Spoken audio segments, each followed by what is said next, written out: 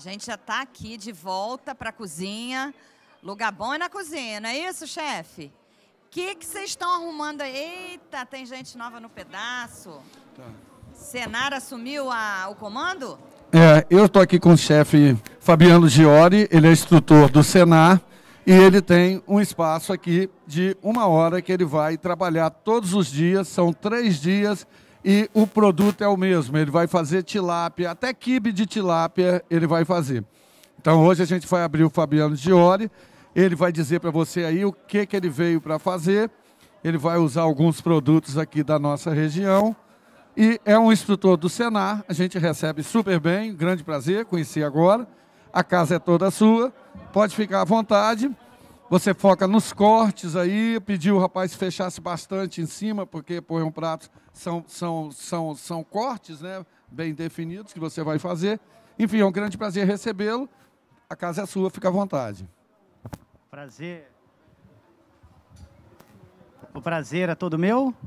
É, a gente acolhe com muita alegria, com muita satisfação a presença aqui no evento, um evento de grande magnitude e importância para a nossa gastronomia é, capixaba e também a agricultura, os nossos agricultores de uma maneira geral, que direto ou indiretamente contribuem né, para abrilhantar o evento. Queria já agradecer ao Senar pelo apoio, é, sempre presente na Expo Sul. E você agora que comandando aqui com a gente, a gente fica até tranquilo, né? Chefe, tem algum, alguma, algum detalhe desse prato? Algum, é, ele vai, ele vai utilizar exatamente o que a Fabiana estava falando, Isso, pimenta link. rosa em determinados toques, tá? Agora eu vou deixar.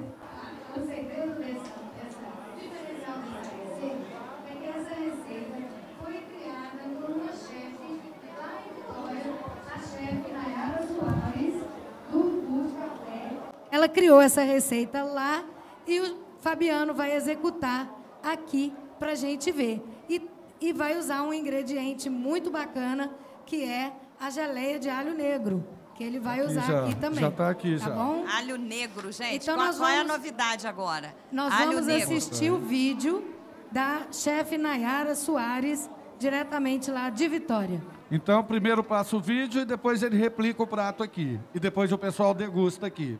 Combinado. E eu vou ver o que é alho negro enquanto isso, né? Fica à vontade.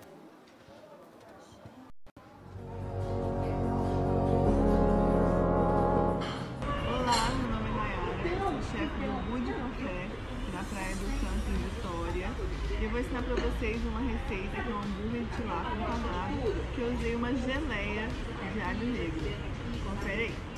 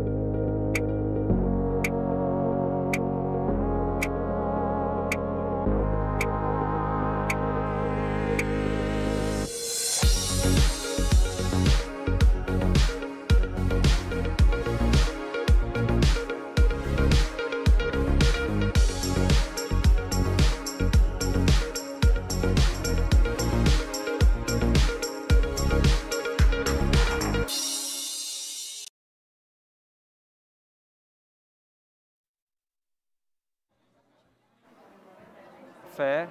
Eu não sei se tem outra coisa para cá ou se já, já entra a Kelly. Kátia, você Oi? já viu Aí, alho negro para comprar no supermercado, Kátia? Pois é, não vi e tô aqui com uma geleia desde aquele outro break. Só que nunca vi, realmente nunca vi. Então vamos ver como é que prepara essa geleia de alho negro Tem que aí? veio de laranja da terra, é da, da terra produtos. Vamos ver como vamos é que conferir, prepara essa geleia. Conferir. Olá, meu nome é Daniela Gugel, Eu sou proprietária da Terra Produtos Caseiros. Somos uma agroindústria rural familiar que fica aqui no Laranja da Terra, interior do Espírito Santo.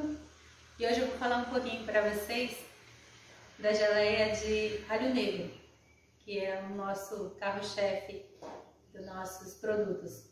Antes de falar da geleia propriamente dita, eu vou falar um pouquinho do que é o alho negro, porque muita gente pergunta o que é o alho negro nas feiras, nos eventos que a gente participa.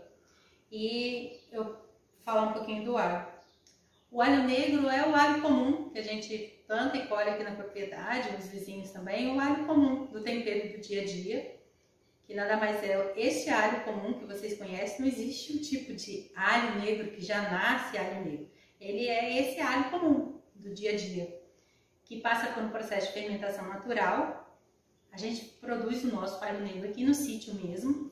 Ele vai para uma estufa e ele fica num período de 20 a 30 dias com uma temperatura e umidade controlada.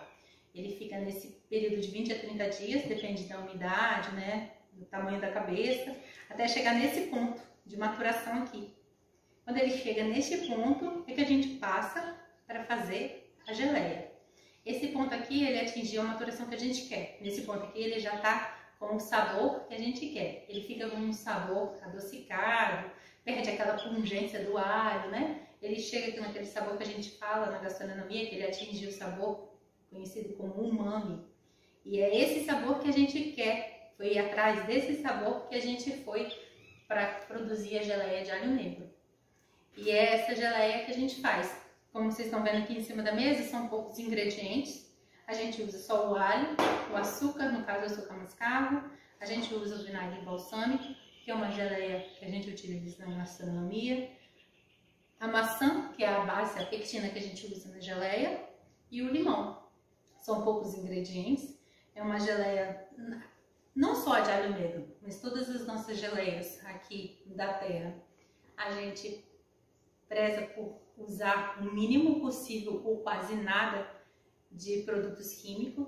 A gente não usa conservantes, a gente não usa corantes, a gente tenta usar o mínimo possível né, de produtos químicos, porque a gente acha que tem que ser assim mesmo.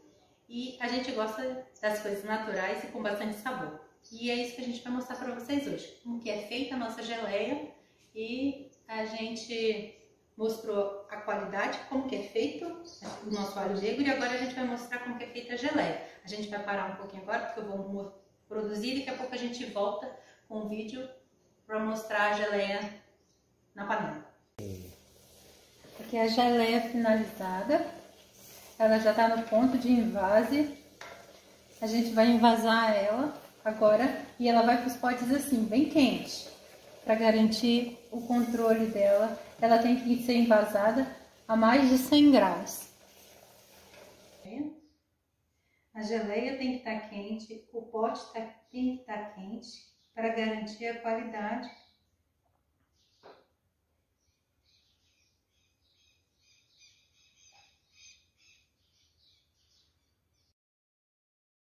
Chegamos ao final da nossa geleia. Depois de todo o processo, a gente chega nesse final aqui e esse produto finalizado já com rótulo. Essa é a nossa geleia de alho negro. Aqui para vocês conhecerem ela com a textura. Tá vendo? E esse é o nosso produto. Nosso queridinho geleia de alho negro para vocês. Espero que vocês tenham gostado. E querendo, procure a gente aí. Nosso Instagram é arroba da Terra Produtos Caseiros Facebook também da Terra Produtos Caseiros. Obrigada. Que maravilha! Geleia finalizada, nossos convidados já estão aqui, bem acomodados, e agora eu vou passar a transmissão para o nosso chefe da vez, que pode já tirar a máscara, ficar à vontade para conduzir esse momento, Fabiano. Muito obrigado.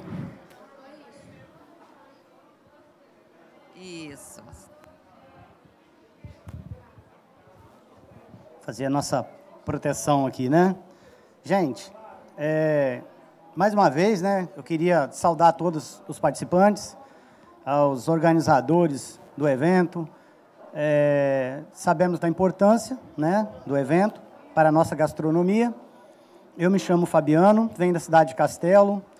É, além da parte é, de culinária, também sou piscicultor, sou produtor de peixe.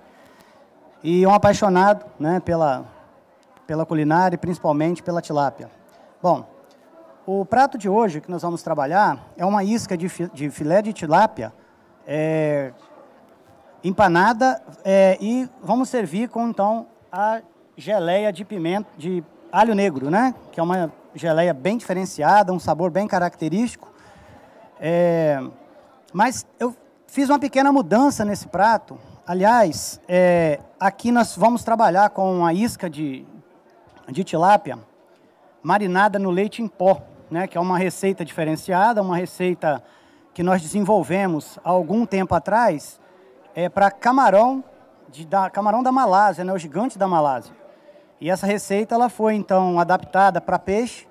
É, na época houve um pedido de um grande amigo, hoje já falecido, Dr. Alins Esgrâncio, da Fazenda Rio Grande, em Guarapari, que era um carcinicultor, uma pessoa que contribuiu muito com a, a piscicultura e a carcinicultura no estado do Espírito Santo. E de lá a gente adaptou para peixe, né? Para peixe e agora recentemente para frango também.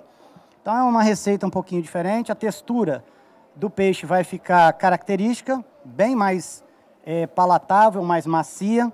A gente sabe que a tilápia é um peixe que tem pouco tecido conjuntivo, portanto a carne já tem um grau de maciez, mas muitas vezes fica com uma textura mushines, né? Aquela consistência um pouco é, elástica. Então, o, o, leite em pó ele tem esse trabalho, né, de dar uma firmeza na, na, na, carne e inserir um pouco de gordura numa carne que é muito pobre em gordura.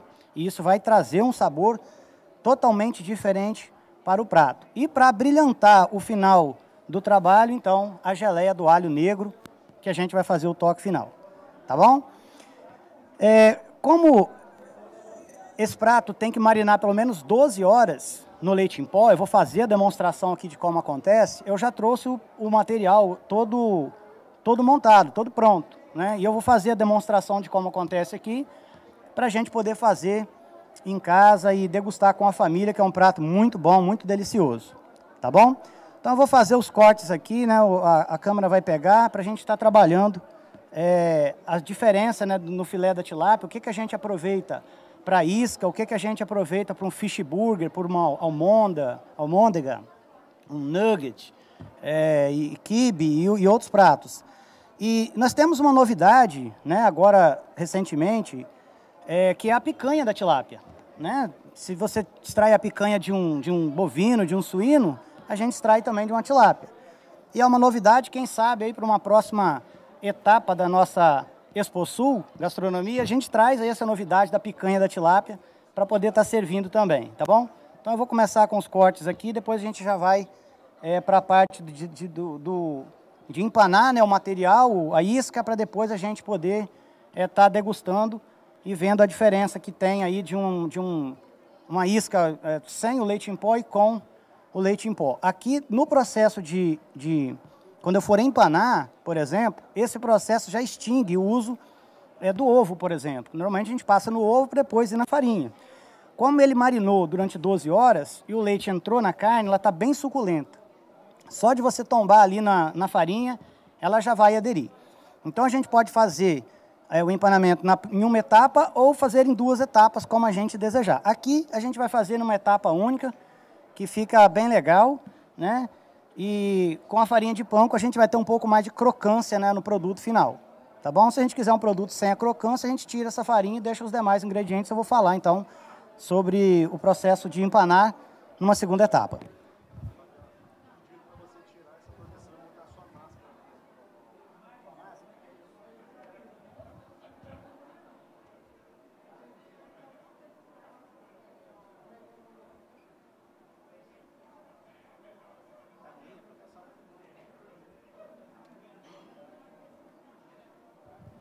Vamos voltar ao uso da máscara, né? A proteção não estava muito legal, não.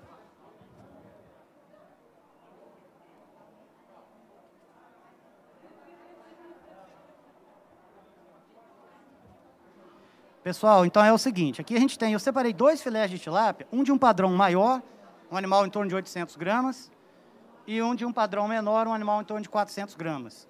O correto para esse trabalho é dar preferência à, à tilápia com no máximo 700 gramas, porque o animal muito grande vai ter uma textura é, muito grande de, de filé.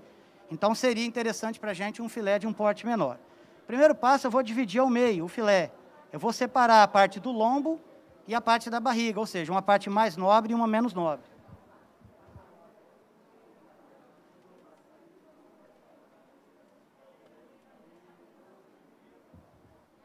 Aqui, ó, nós temos então a parte da barriga e a parte do lombo. Para fazer esse prato, eu uso apenas a parte do lombo.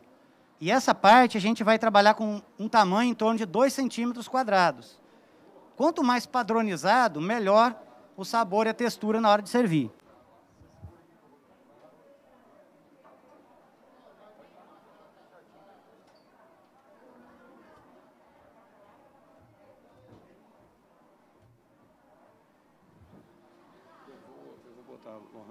cenário com você, que aí ela vai segurando, você vai Melhor, falando, tá enquanto eu vou conseguir o auricular lá para você.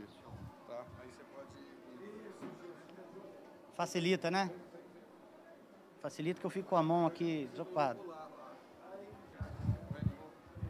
Obrigado. Lohane, assessora aqui, vai, vai dar uma, uma mão. Joia. Então é o seguinte, é, com a parte do lombo, a gente pode observar que a gente vai ter uma uma padronização do produto, né? Uma padronização.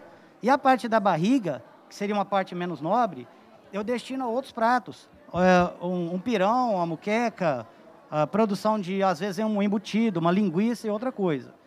No filé maior, eu trouxe um filé é, com a parte da barriga junto. Eu vou fazer a, a separação aqui para a gente ter uma, uma noção.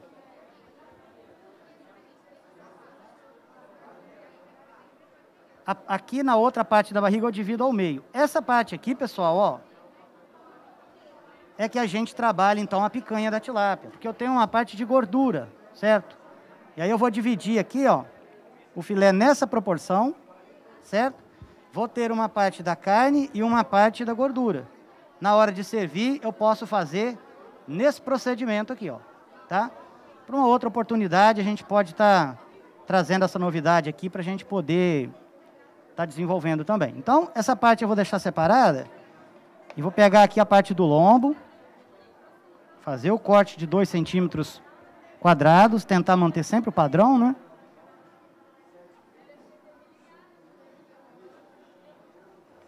E eu já tenho, então, um produto pronto para mim fazer a isca. A próxima parte agora a gente vai para o tempero. Nós temos aqui já uma colher de leite em pó. Curioso que eu uso é, para cada quilo de peixe, é, 1,4 gramas de sal, isso dá é, 1,4% né, de, de sal. E é uma quantidade que a gente não pode errar, porque se puser a mais, a gente vai ter um problema que, como vai ficar marinando, o negócio pode ficar salgado. Então, para não errar o sal, eu costumo pesar. Né? É, junto eu já uso um alho poró, que é para né, melhorar o, o, o sabor do, do, da isca. Já acrescentei o sal e o leite em pó. Então, para cada quilo de peixe, eu trabalho um, um quilo de peixe, é, 300 ml de água e duas colheres de leite em pó. Vou diluir o leite em pó na água e vou colocar para marinar, tá bom? Então, eu vou, eu vou trazer os demais temperos aqui. Vou pedir para minha, minha assessora aqui pegar um, um copo com água para a gente já fazer essa diluição.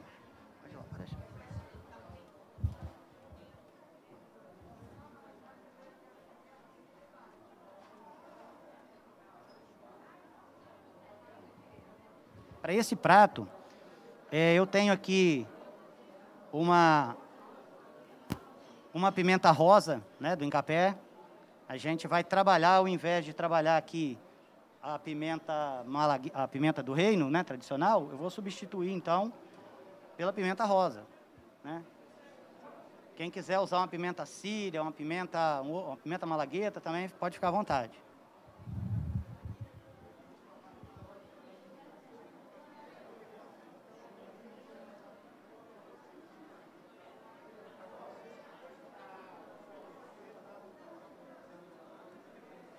A gente vai diluir.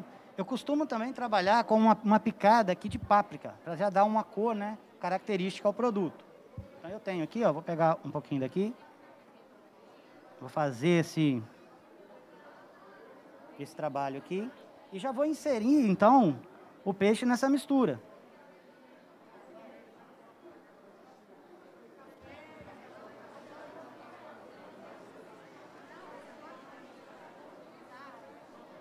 Vai marinar por 12 horas.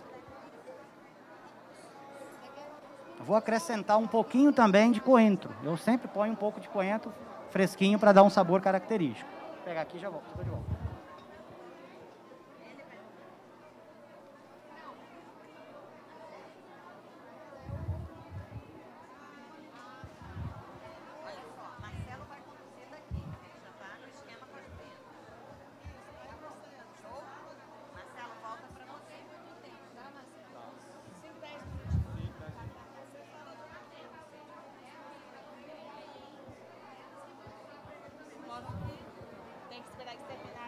Então, pessoal, aqui está pronto o tempero, já está no ponto de, é, de, deixar marinar, o período é 12 horas, na geladeira, coloca um filme por cima e deixa lá quietinho, tá bom?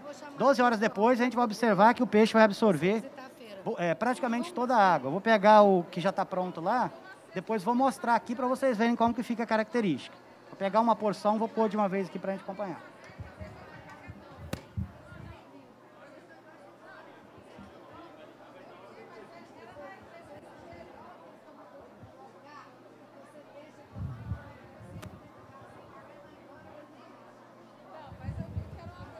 Esse, esse daqui já é o produto depois de 12 horas marinando.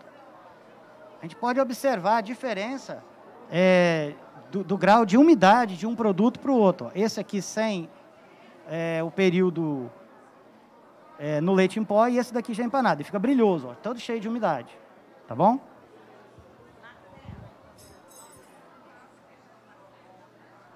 Eu vou partir para a parte do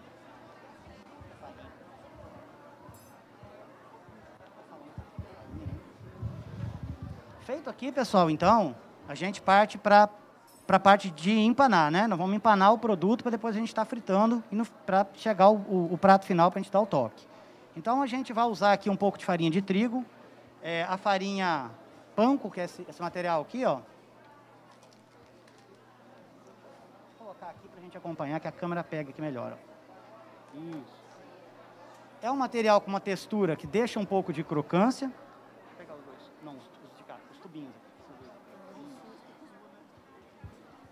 Aqui eu tenho a páprica, que eu também vou usar em menor escala. Tá? Normalmente eu uso uma quantidade, mesma quantidade de trigo, para a quantidade de farinha de pão. E também um pouco de, de, de lemon, né? Ou um, um, esse é um, um, lemon herbs, né? Que ele dá aquela, aquele gostinho de limão e, e a gente pode sentir isso na textura final. É uma coisa que eu não tenho trabalhado, que eu tenho observado assim, que não tem ficado muito legal, é o uso do limão é, nesse produto, porque como ele fica 12 horas marinando, o limão vai acabar fazendo um, um cozimento do, do, material, fechando a fibra demais, deixando textura mushness, tá? Então, por isso, um pouquinho né, do, do lemon aqui, né? Tá bom? Agora nós vamos então passar para o pro processo de, de empanar o material aqui para a gente poder seguir com o prato. Joia?